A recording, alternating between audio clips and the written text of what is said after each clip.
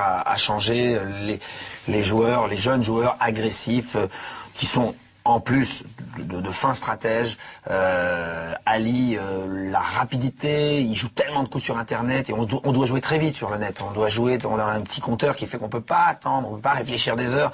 Donc la, multiplication des la- l'agressivité, la, réflexion, la, la reproduction des schémas, euh, c'est comme ça aussi qu'on se retrouve en dur dans des situations euh, euh, qu'on a forcément déjà vécues et que le live finalement rend peut-être plus facile. Voilà. Bon, il y a des exceptions évidemment. Et heureusement, il y a des exceptions et justement, on va en accueillir une d'exception. C'était votre choix. Et on en est très heureux. Roger Erabédian, bonsoir. Mais oui, moi je suis content de recevoir Roger. Euh, il me rappelait qu'on était à la même table dans un WT Paris il y a longtemps, mais mais j'ai jamais vu euh, Roger vraiment jouer. Je l'ai vu à d'autres tables, mais j'ai surtout constaté les performances incroyables de Roger Rebédian depuis euh, depuis quelques quelques années maintenant. Il a une vraie présence, il a un vrai charisme dans le dans le monde du poker, et il est très atypique. Pour nous citer les principaux résultats, faites-nous rêver. Bon, les principaux résultats, le meilleur résultat que j'ai pu faire, c'est euh, ma première place au Grand Prix de Paris en 2008, qui a suivi d'un- d'une première place au Marrakech Poker Open. Et puis après, j'ai fait euh, quelques résultats dans des side events euh, au, au- à l'EPT de San Remo, où j'ai fait quatrième dans un 2000, et puis euh, 17e au main event de Monaco. Et puis surtout, on peut dire numéro un français en 2009. C'est pas mal Oui, on, a, on était, on était trois à pouvoir prétendre le titre. On était sur la, ligne d'arrivée, euh, trois ensemble. D'ailleurs, je pense que c'était très serré. Bon, j'ai- eu la première place. Ça a été un grand honneur pour moi. Le poker, c'est depuis toujours pour vous? Ben, les- mes débuts au poker, ça, ça a été en, en 82, quand j'ai arrêté ma carrière de judoka. Euh, je me suis retrouvé à Bandol. Euh, J'avais monté un petit commerce et puis euh, il y avait une partie de poker qui se jouait régulièrement. J'ai commencé à la fréquenter et puis euh, je me suis pris au jeu, pour, entre guillemets, et j'ai trouvé ce jeu extraordinaire. J'ai trouvé qu'il était très très vaste, Mais vous étiez sur le sur du fermé à l'époque. sur du fermé. hein et Oui, quand est-ce que tu es passé au, au, au hold-up, au jeu ouvert, au on a commencé à, à s'initier euh, dans des clubs parisiens dans les années 96.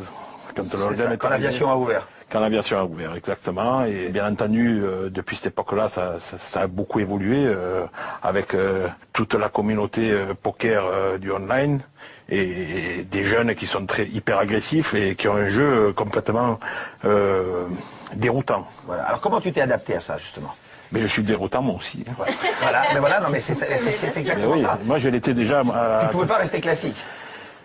Disons que je n'ai jamais, je n'ai jamais été classique, c'est ça. Donc euh, déjà à mon époque, euh, on parlait de moi parce que j'avais un jeu, euh, disons d'avant-garde.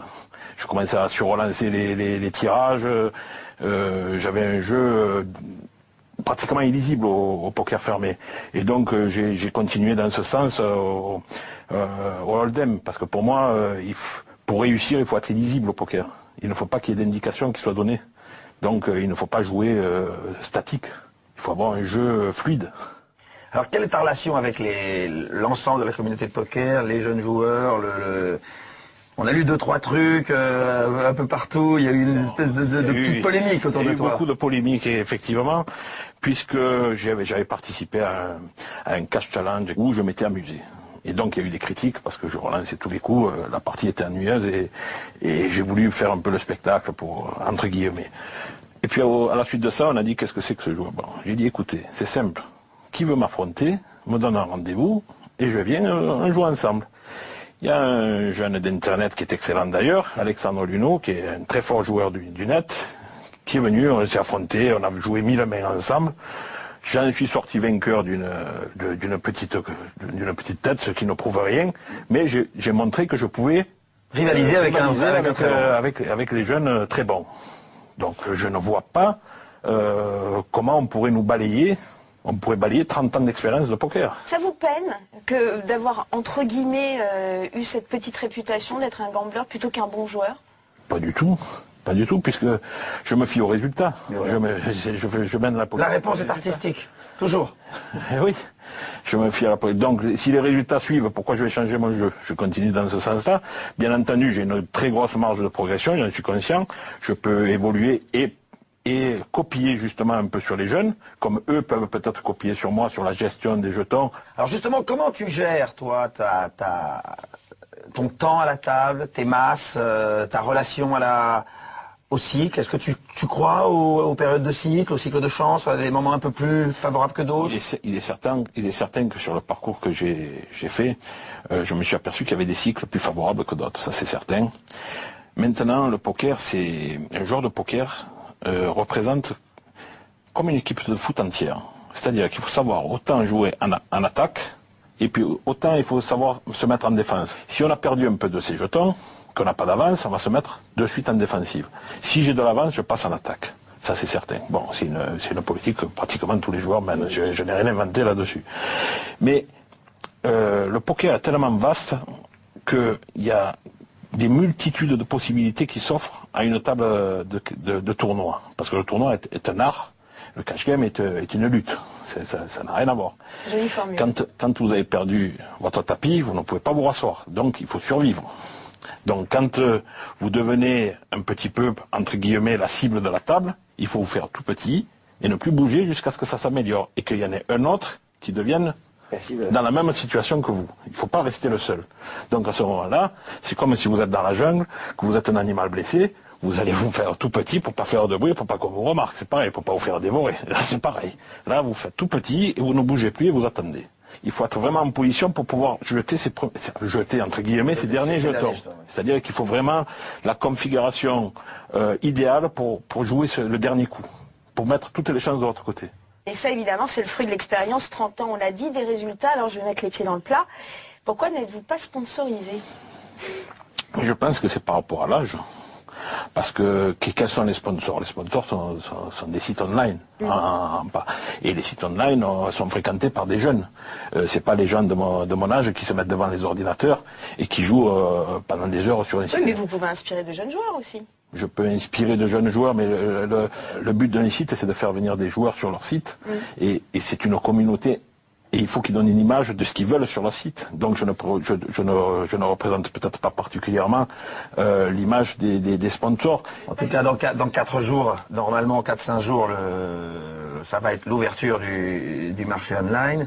Euh, il va y avoir une grande visibilité. Je suis sûr qu'il y a certainement des Oui, sites bien qui, sûr. qui, qui- qui déjà, de toute façon, Ce s'intéressent qui à... veut dire aujourd'hui que concrètement, vous vous payez tous vos déplacements, tous vos buy-in, etc. Oui, mais il gagne tellement de tournois qu'il peut les payer. Ouais, c'est pas, c'est plus la même économie pour un joueur de poker quand Ah, même. c'est sûr. C'est sûr que d'avoir un sponsor, c'est c'est un appui. euh, c'est un appui. Vous aimeriez si on vous proposait? Bien sûr, pourquoi je vais refuser? Bien sûr que je, ça, ça serait un beau soutien, et puis il y aurait un esprit d'équipe, et puis il y a- ça apporterait pas mal de, de choses. Absolument. Alors les projets, Roger? Les projets, bon, ben, les projets, c'est de faire un résultat certainement à Vegas et, de faire. Bon, j'ai des résultats, mais je n'ai pas jamais eu un gros résultat euh, spectaculaire. C'est-à-dire, je n'ai jamais eu de bracelet. Enfin, je, je les fais pas, donc je peux pas les avoir. dès, que les sponsors ils font appel à moi, je vais les faire. Non, mais je vais les faire quand même. Et nous faisons un poker million à Marrakech du 31 mai au 5 juin, juste avant Vegas. La semaine prochaine. Voilà, la semaine prochaine, nous allons faire un gros poker million. Il y a un million garanti par le Casino SAD qui ont mis des gros moyens. Et vous, avez- je sais pas, je crois que vous êtes venu l'année dernière au WS, WPT. Euh, non, moi j'étais pas venu, mais j'ai- parce que j'avais pas pu, mais je sais que ça, ça a été un gros succès, que le Maroc est, succès. le Maroc est vraiment, vraiment, et on embrasse tous les Marocains et- qui nous regardent, parce qu'on est regardé au Maroc, et c'est incroyable, le poker s'est embrasé là, euh, au Maroc de manière absolument extraordinaire. Merci beaucoup d'avoir été notre invité, Merci Roger. de m'avoir invité. ça a C'était un été plaisir. Et un grand honneur pour moi. Plaisir pour nous, Roger, à bientôt, sûrement à Vegas. Quant à nous, on va se retrouver la semaine prochaine, comme tous les mercredis, sur Canal 22h40, direction le Canada Falls View, Niagara Falls. le NAPC, le North American Poker Championship. Niagara. On vous embrasse, à la semaine prochaine. Merci. I don't understand what this is for here.